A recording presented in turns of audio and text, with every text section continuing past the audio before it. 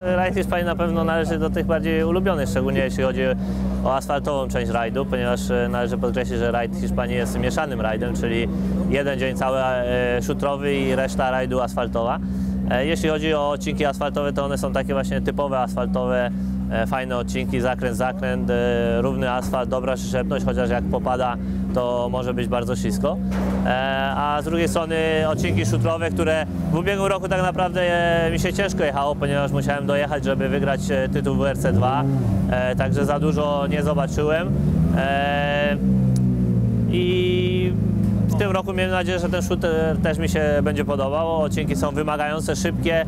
Uważam, że będzie sp- szczególnie na pierwszej pętli trochę ślisko, także na pewno nie będzie łatwo. No, asfaltowe OS-y są takie e, najbliższe mojemu, e, powiedzmy, mojej przeszłości, czyli torowej, ale tak naprawdę trudno powiedzieć, że one są bliskie torów, ponieważ e, jednak droga to jest droga.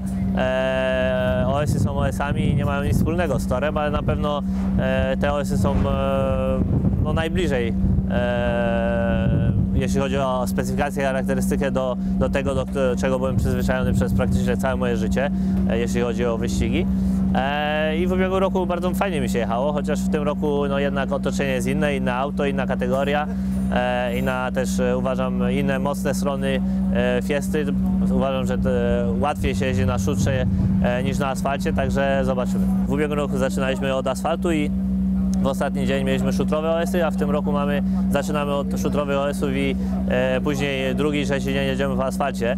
Także przestawienie się nie tylko jeśli chodzi o specyfikację auta, ale też o technikę jazdy i o kierowców, o załogę na pewno nie będzie łatwa, e, ale jest potrzebna szybka zmiana i szybkie przestawienie. Cele jak zawsze, po, przejechać, miejmy nadzieję, czysto rajd i e, mieć fan z jazdy i, i nauczyć się jak najwięcej.